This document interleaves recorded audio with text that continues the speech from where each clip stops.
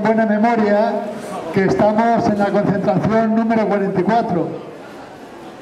Vamos a empezar con el titular Futuro de las pensiones. El pasado 30 de octubre, en el Colegio Universitario Santo Tomás de Villanueva, hicimos un acto, concretamente una mesa redonda, con los partidos políticos que habían trabajado o participado en el Pacto de Toledo. Concretamente, por el PSOE intervino Miguel Ángel González, por el Partido Popular Carmen Quintanilla, por Ciudadanos eh, Francisco Fernández Bravo y por Unidas Podemos el compañero Luis Benítez de Lugo. Coordinó el acto Augusto Serrano en representación de la Coordinadora de Ciudad Real en defensa del sistema público de pensiones. Bueno, este acto lo hicimos como otro que también desarrollamos en el mes de abril para conocer de viva voz la opinión de los distintos partidos políticos. Eh, empezamos haciendo eh, una actualización de contexto diciendo que claramente estamos con un gobierno de funciones y que eh, la reforma vigente es la del PP, que para el año que viene generosamente nos va a dar un 0,25% de subida. Entonces queda bastante distante de lo que supone la subida del IPC. En este contexto eh, comenzamos pues desarrollando el acto.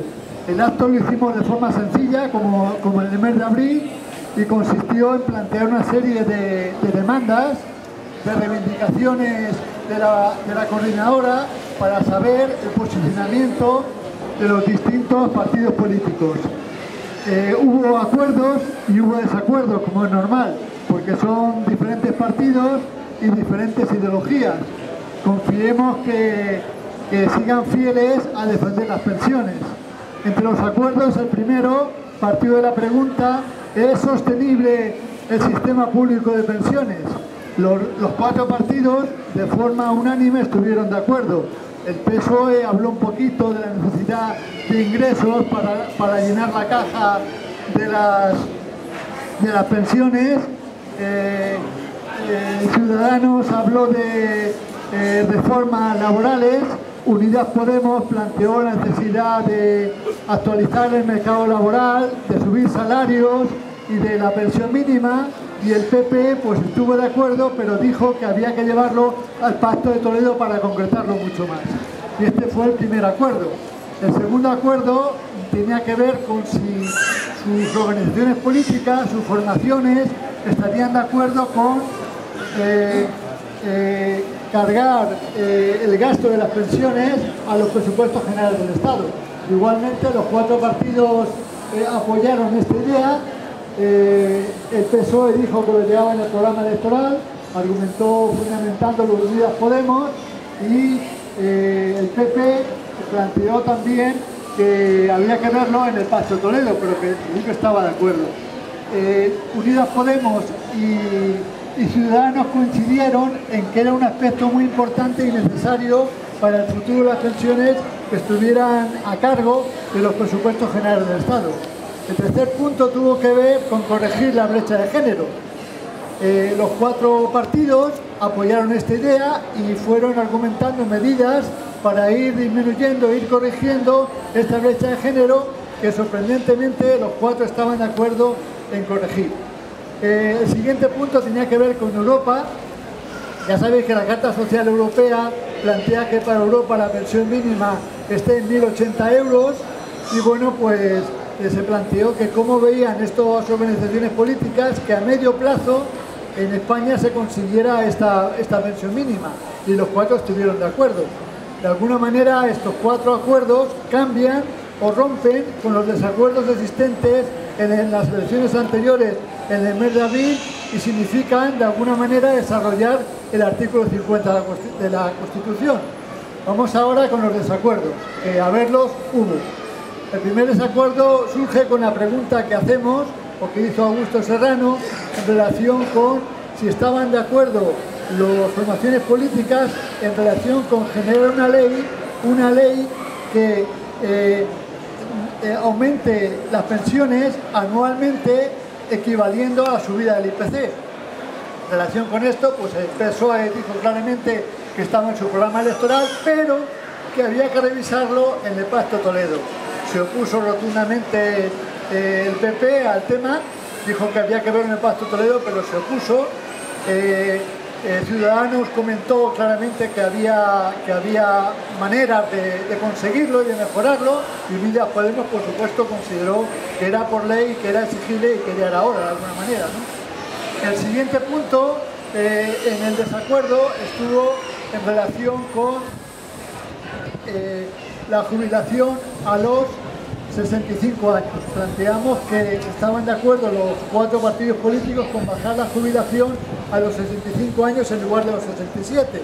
Y bueno, pues eh, ninguno estuvo por esa labor, solamente Unidas Podemos defendió como, como importante mantenerlo a los 65. El resto de partidos argumentaron diversas cuestiones, diversas cuestiones como la falta de ingresos, como que era muy precipitado, en fin, diversas razones estuvieron dando. Hubo otro, otra discrepancia, otra, mm, otra, eh, que no, eh, otro punto en el que no hubo acuerdo, otra medida, que era que, consideraban las organizaciones políticas, mm, eh, si consideraban oportuno blindar como derecho en la Constitución las pensiones, la subida de las pensiones. El único partido que se opuso a este tema fue el Partido Popular porque dijo que ya de alguna manera estaba dentro de eh, la Constitución y que no mejoraría en nada incrementar con, ese hecho concreto. También eh, hubo discrepancia en relación con eh, la reforma fiscal. Planteamos desde la coordinadora de Ciudad Real que cómo veían en sus organizaciones políticas una reforma fiscal progresiva hicieran pagar más a las empresas que más ganan que a las personas que más ganan.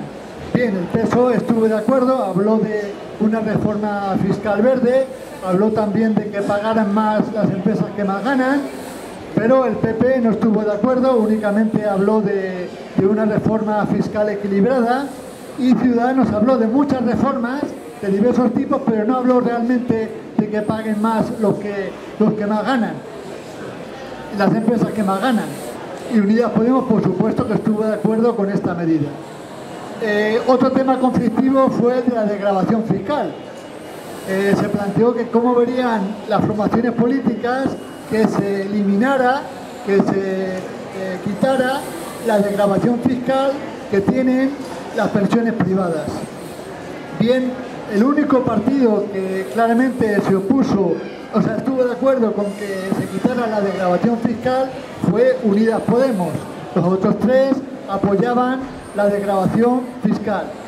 El PSOE dijo que no era una solución eh, los planes privados, pero que los mantenía, pero sí decía que se bajara la degradación.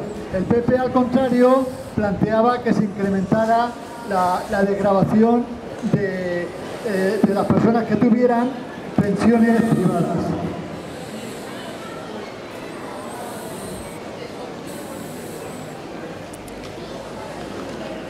En definitiva, pues hay discrepancias ¿Y a qué se deben las discrepancias? Pues se deben a que hay partidos políticos que quieren mantener eh, principios y planteamientos de las reformas vigentes, como por ejemplo el fomento de las pensiones privadas con el refuerzo de, grabación fiscal, también eh, no quieren volver a los 65 años, eh, la edad cronológica de jubilación, quieren mantener los 67 y evidentemente no coincide con nuestra coordinadora, hemos planteado que eran aspectos regresivos y hemos pedido su eliminación. Y parece que todo pasa por el Pacto Toledo. El Pacto Toledo pues hay que plantear en primer lugar a los representantes, candidatos y candidatas que desarrollen los nuevos acuerdos que rompen y que mejoran lo que había en abril para que se elabore eh, legislación o reformas que favorezcan a, los pensionistas y a las pensionistas.